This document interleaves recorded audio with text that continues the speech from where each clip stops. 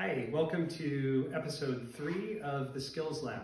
Today we're actually going to be going through the Neer's test, the test for shoulder impingement. And I was observing what was going on in lab today, and I saw a lot of people performing the Neer test by just bringing the arm straight up. And I can understand that because a little way to remember this special test is to call it the near to ear, which makes sense. However, there's really a lot that's going on to make this test work. So if you watch her elevate her arm over her head, you'll notice that, oh, sorry, I didn't mean to hit you. this is my daughter. So the, so about the first 90 degrees is taking place in the glenohumeral joint. Remember the glenohumeral joint is where we are trying to get that compression.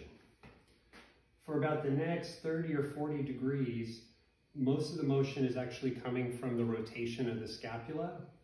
And then after that, it involves components of the acromioclavicular, sternoclavicular, and thoracic spine.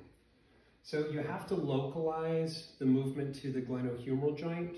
And the way we do this is by stabilizing the scapula.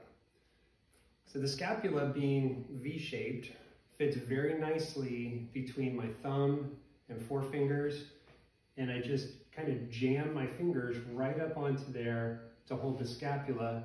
And now when I raise, you can see that she's got a limitation there. If I let go, she continues to get all the way up.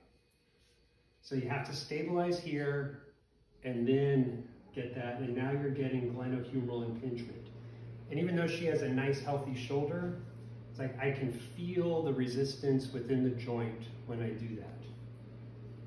So try that, stabilize the scapula, make sure you're isolating to just the glenohumeral joint and see how that works for you. Don't forget to like and subscribe.